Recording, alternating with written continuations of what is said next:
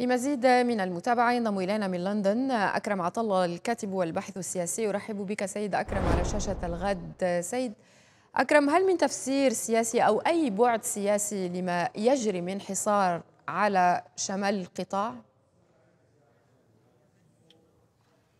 مساء الخير وشكرا على الدعوة.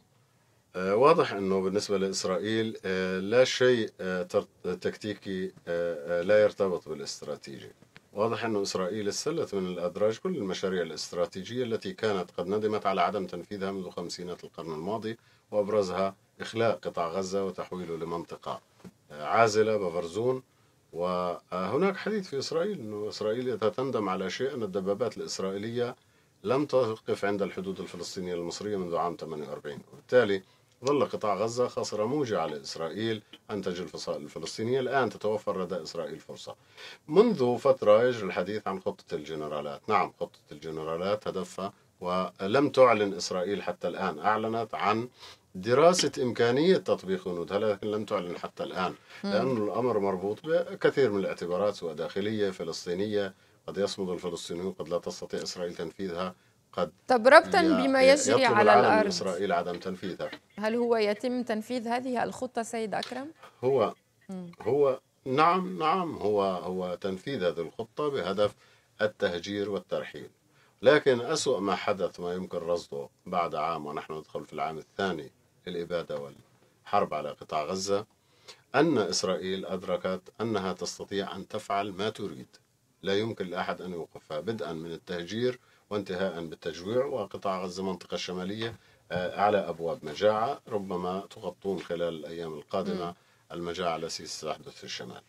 نعم إسرائيل آه، آه، تنفذ خطة الجنرالات ولكن لا تعلن عن ذلك حتى إذا ما فشلت في تنفيذها لا تصاب بانتكاسة يعني أمام الشارع الإسرائيلي وأمام العالم أن إسرائيل فشلت في تنفيذ وهناك عدة عوامل لنجاحها. صحيح منها الدعم الذي تتلقاه والسكوت على كل الجرائم الإسرائيلية وأيضا صمود الغزيين في منطقة شمال قطاع غزة وأيضا هناك يعني عوامل لنجاحها وهي الدعم الدولي والرغبة الإسرائيلية وعوامل فشلها ربما الصمود الفلسطيني في منطقة شمال قطاع غزة. ونحن رأينا كيف فضلت الناس الموت على الرحيل. وبالتالي إذا ما نجحت إسرائيل بكل الظروف هي تريد العنب لا تريد آه، مقاتلة الناطور. إذا نجحت الخطة هذا هدف استراتيجي إسرائيلي.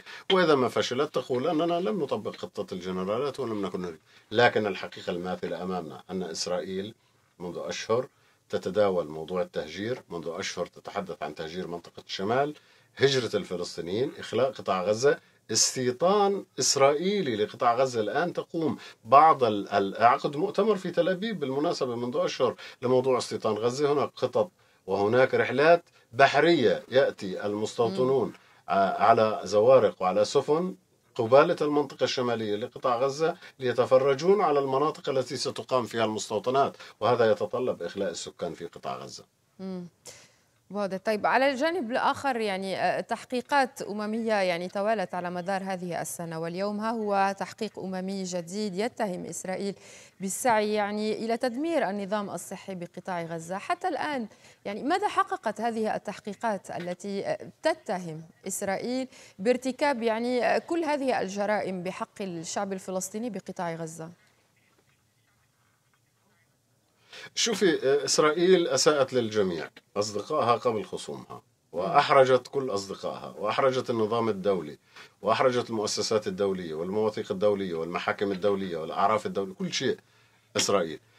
لكن علينا أن نفصل ما بين أن هذه المؤسسات لا تستطيع أن تقول كلمتها وما بين قدرة هذه المؤسسات على تنفيذ كلمتها.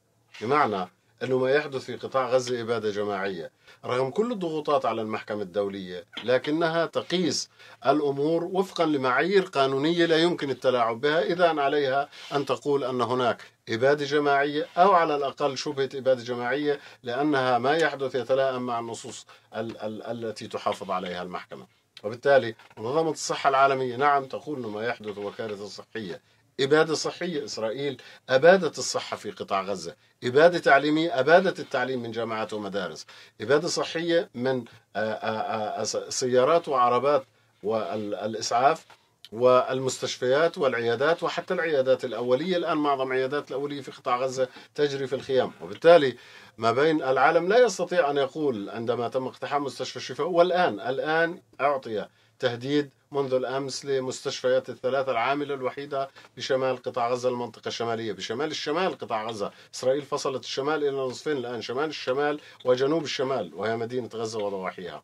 أعطتهم تحذير مستشفى كمال عدوان آه، آه، مستشفى الأندونيسي ومستشفى العودة. ثلاث مستشفيات العاملة آه، حتى الآن. اليوم أعادت للمرة الخامسة الوقود القادم لهذه المستشفيات وبالتالي نحن أمام إبادة صحية تامة لقطاع غزة بما يتلائم. الآن العالم لا يستطيع أن يرى إسرائيل تطلب من إخلاء من المستشفيات وتمنع عنها الوقود ولا يتحدث عن كارثة صحية تتحقق في قطاع غزة. لكن قدرة هذا العالم على إلزام إسرائيل على الحفاظ على المواثيق الدولية بما يخص الصحة والتعليم هذه مسألة أخرى.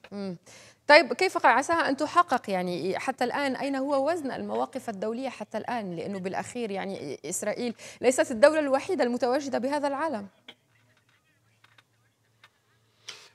صحيح. صحيح. وهذا سؤال منطقي بعد أكثر من عام. ولكنه أيضا مع الفترة الزمنية يبدو سؤال آه، أيضا بعيد عن المنطق.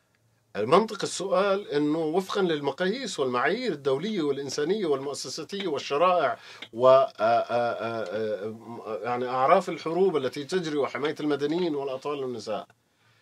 لم يعد منطقيا لأنه بعد هذا الصمت على أكثر من عام وإبادة منطقة بهذا الشكل يبدو السؤال إنه غير واقعي لأنه خلص العالم صمت.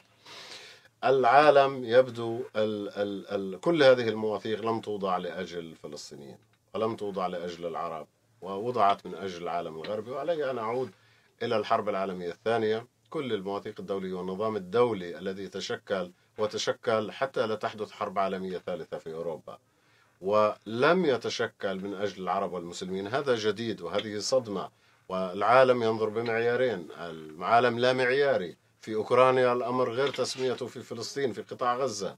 وما يحدث هناك في كييف غير ما يحدث في مدينة غزة. هذا أصبح واضحا. وبالتالي طالما أن الولايات المتحدة الأمريكية هي من تشرف وتغطي وتمول وترعى وتخطط وتراقب وتساند إسرائيل بكل ما تملك من قوة والآن في في الولايات المتحدة الأمريكية تساؤلات حول ما يحدث من إعصار وأين الأموال الأمريكية التي تذهب لإسرائيل؟ بمعنى كل التمويل الذي كشف عنه 22 مليار ونصف دولار. 22 ونصف مليار دولار حجم التمويل الأمريكي لإسرائيل في هذا العام من الحرب. وبالتالي طالما أنه تقف خلف إسرائيل هذه القوة بما تملك من إمكانيات والأمريكان اسمها القوة الأمريكية الكاسحة. الولايات المتحدة الأمريكية الكاسحة الأغنى والأكبر والأبرز والأقوى والاستخبارات الأقوى في العالم السي اي اي والقوة الجوية الأقوى. إذا الحديث عن العالم أين العالم؟ يبدو سؤال آه، آه، آه، غير واقعي لأنه هذا العالم يصطف خلف إسرائيل باعتبار أن إسرائيل هي جزء من هذا العالم الغربي والآن ربما أدرك الفلسطينيون العرب أن إسرائيل هي جزء من هذا العالم.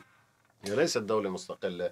بقدر هي دولة جزء من أوروبا تشكلت ببعض اللاجئين اللاجئين الذين نزحوا من أوروبا اللاجئين اليهود الذين نزحوا من أوروبا ولا زالت صلاتهم مع أوروبا واعتبرت نفسها دولة أوروبية وتنتمي لأوروبا وتشرف الولايات المتحدة. إذا هي لهم لهذا العالم هي بنتهم بنت هذا العالم وبالتالي هذا العالم يدافع عن حصته في الشرق الأوسط وهي إسرائيل. أما غير ذلك لا يتعامل معه بنفس هذا القدر من الرعاية والاحترام.